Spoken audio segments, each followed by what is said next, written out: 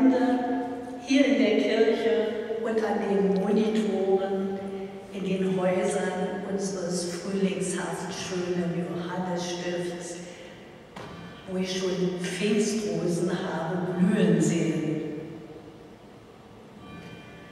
Eine herzliche Begrüßung an Sie zu dieser Abendandacht von unserem netten Organisten Stefan Hempel, der auch heute wieder den Kirchwartsdienst mit übernommen hat und von mir, Sekretärin, Mitglied der Schwestern Brüderschaft seit 42 Jahren und Diakonin. Einen herzlichen Dank an Frank Bürger vom GKR, der heute dafür sorgt, dass die Abendandacht aus der Stiftskirche im evangelischen Johannesstift in Berlin-Spandau auch auf YouTube übertragen wird. Von daher begrüße ich alle sehr herzlich, die auf diesem Weg mit uns verbunden sind. Wir werden, so Sie dürfen, aus dem evangelischen Gesangbuch aus folgenden Liedern singen. Sie hier in der Kirche dürfen ja wieder mal nicht mitsingen, was sie nicht hindern soll, vielleicht leise hinter ihrer Maske mitzusummen. Aber Sie in den Häusern singen bitte von Herzen mit. Vor der Andacht werden wir das Lied 170 Komm, Herr, segne uns, alle vier Strophen singen aus dem evangelischen Gesangbuch in Gotteslob unter 451 zu finden. Nach der Andacht werden wir aus dem evangelischen Gesangbuch das Lied 395 Vertraut den neuen Wegen, alle Strophen singen. Im Gotteslob ist das das Lied Nummer 807.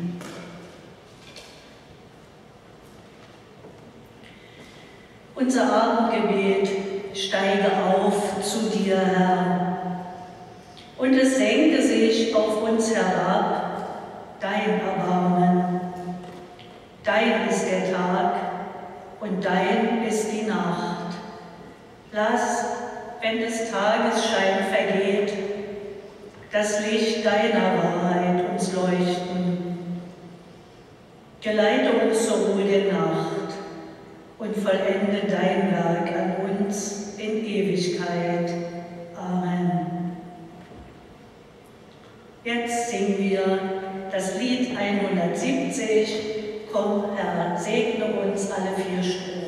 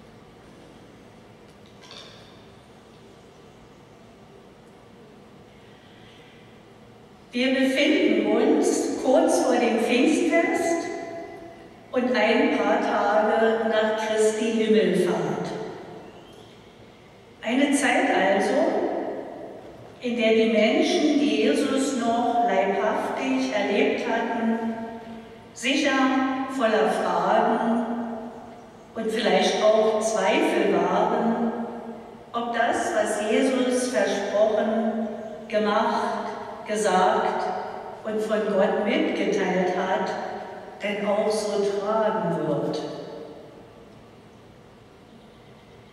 Zu den irritierendsten Handlungen von Jesus gehört gewiss die von der Tempelreinigung.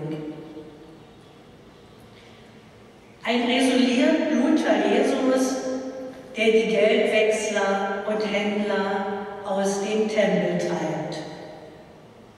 Diese Geschichte habe ich schon immer sehr gemocht, weil sie sich von den sonstigen Bildern die die Bibel von Jesus zeichnet, abhebt.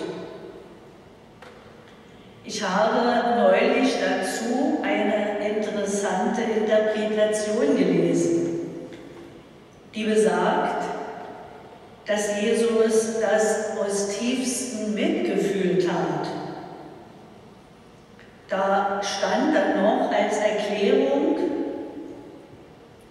Mitgefühl ist ein solches Maß an Liebe, dass man bereit ist, alles Notwendige zu tun, um in eine Situation Bewusstheit hineinzutragen.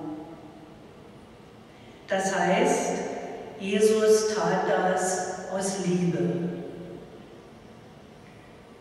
So wie Eltern, die ihr Kind wirklich lieb haben und es auf einen lebensfähigen Weg bringen möchten, an den richtigen Stellen auch streng und unnachgiebig sein werden. Auch auf die Gefahr hin, dass das Kind erstmal gar nichts versteht und ob der elterlichen Reaktion fassungslos, traurig, abwehrend oder wütend ist. Jesus hat auch den Körper als Tempel bezeichnet. Deshalb wird diese sehr bekannte Bibelgeschichte auch teilweise in dieser Hinsicht genutzt. Die Geldwechsler und Händler, die nicht in den Tempel gehören, sind dann wohl die Impulse, Gedanken und Verhaltensweisen in uns, die uns davon abhalten, dass unser Tempel ein Bethaus ist. Denn Jesus sagt ja, mein Haus soll ein Bethaus sein. Ich mache mir immer wieder Gedanken darum, warum der liebe Gott manchmal mit ungeheurer Härte eingreift und uns dann bewegt, ganz anders zu handeln als von mir oder anderen gewünscht. Mir gefällt der Gedanke, dass er es aus Liebe tut, damit wir frei für das Wesen, für das Wesentliche werden. Solange ich denken kann, ist Gott für mich der liebe Gott, der Gott der Liebe, der stets aus tiefem Mitgefühl handelt und weiß, was für mich gut ist oder nicht. Dann wäre die Aussage äußerst passend. Mitgefühl ist ein solches Maß an tiefer Liebe, dass man bereit ist, alles Notwendige zu tun, um in eine Situation Bewusstheit hineinzutragen. Das heißt dann also, das, was Gott uns zumutet, in dem Wissen annehmen, dass der liebe Gott uns auf den für uns richtigen, auf den wesentlichen Weg führen will. Amen.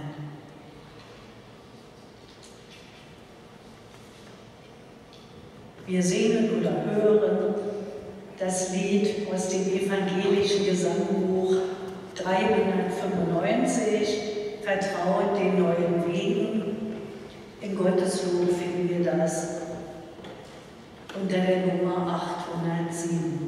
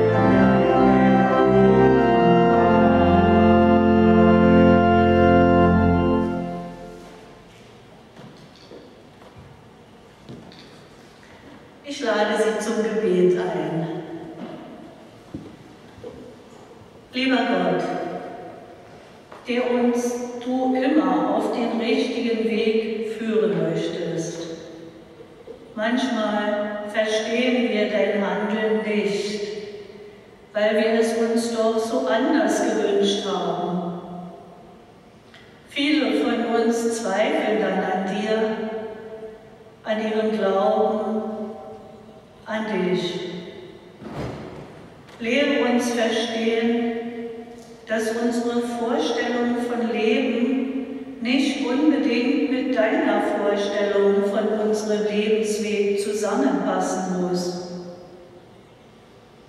Es ist oft hart, wenn du uns Wünsche, die wir haben, nicht erfüllst.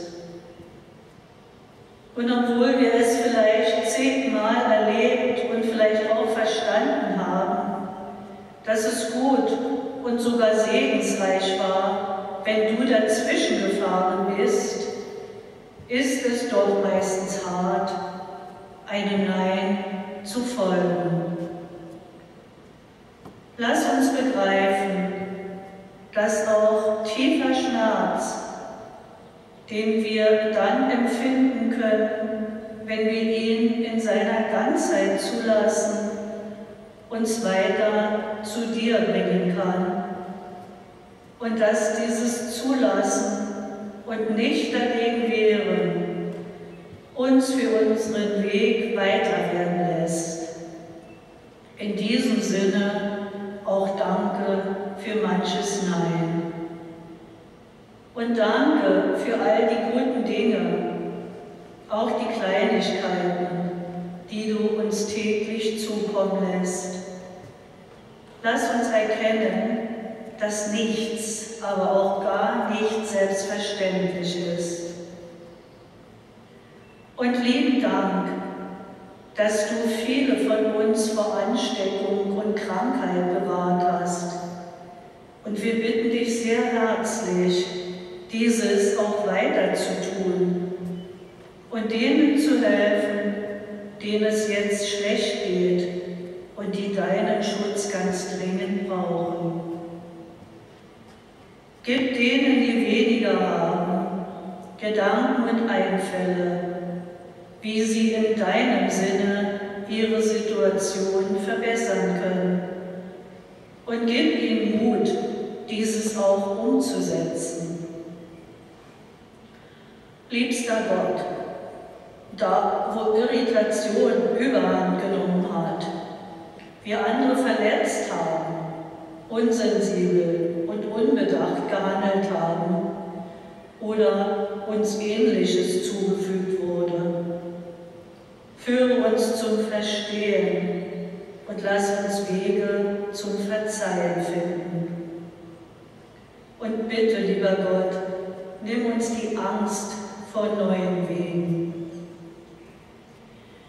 wo wir nicht wissen, wie es in deinem Sinne weitergehen soll.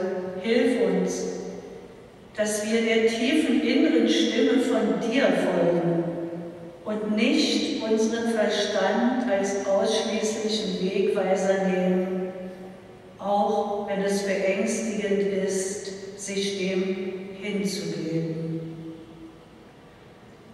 Lehre uns erkennen, dass du auch durch die Worte der Bibel immer wieder neu und anders zu uns zu sprechen vermagst, wenn wir uns nur darauf einlassen und dir vertrauen.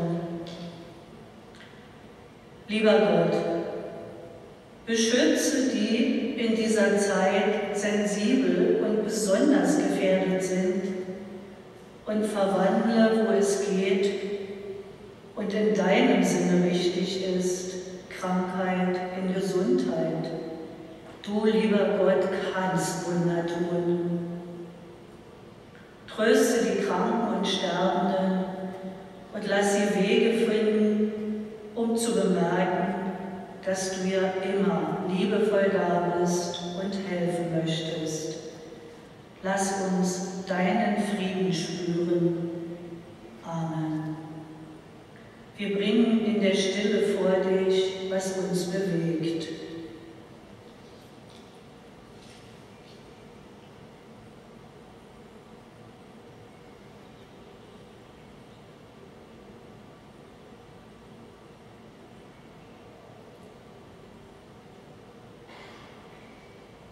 Wir beten das Vaterunser. Vater unser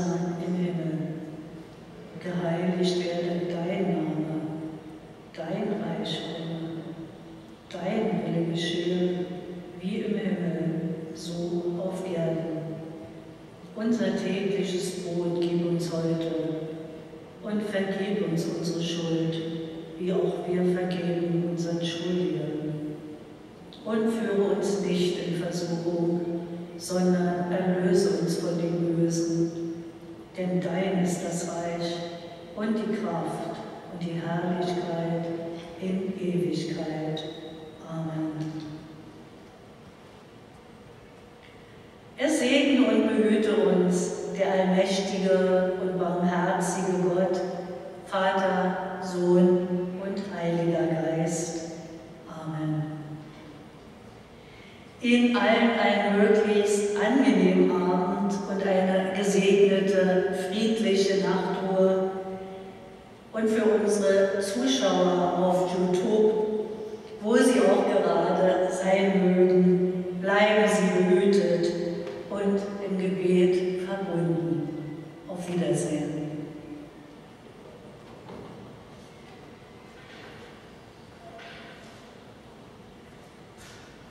Mm-hmm.